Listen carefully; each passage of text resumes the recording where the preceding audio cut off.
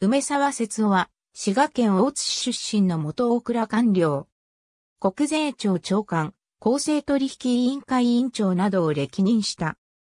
滋賀県立税税中学校を経て、京都大学法学部を卒業。同年、大倉省に、新生後期組で入省。同期に、西垣明、大竹博重ら。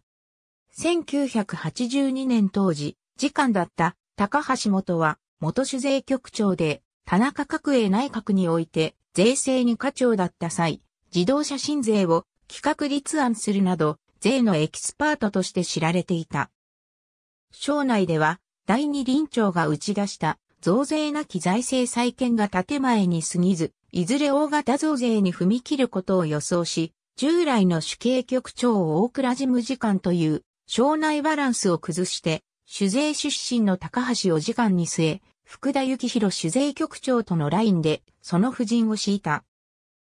そして、その秘蔵っ子として、大阪国税局長から異例の二段飛びで、梅沢が主税局長に抜擢され、同総務課長には、内海誠が就任した。主税局長在任中は、消費税導入問題や、少額貯蓄非課税制度改革、さらに、グリーンカード導入の際の税徴収問題などに当たる。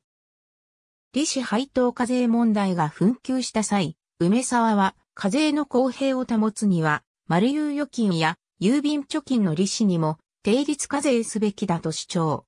与野党304人の有勢族議員が猛反発したが、これにほとんど一人で立ち向かい、自民党税調で最後まで筋を通した。国税庁長官時代、女性査察官を主人公にした伊丹十三監督のヒット映画、マルサの女の制作では、内容には口を挟まないので、自由にやってくださいと、全面協力した。長官退職後は、公正取引委員会委員長や、日本工業銀行副頭取を歴任した。公取委員長在任時は、豊富な政財界人脈を駆使し、公取職員を伴わずお忍びで、法案などの根回しを行った。1991年5月、コートリーはゼネコン業界の談合組織である埼玉土曜会に立ち入り検査に入り、刑事告発の動きを取る。これをめぐって中村騎士郎衆議院議員が告発を回避するよう梅沢に圧力をかけたことが引き金となり、ゼネコン汚職事件が表面化した。2013年11月12日、シュタイントーガンのため死去。82歳没。ありがとうございます。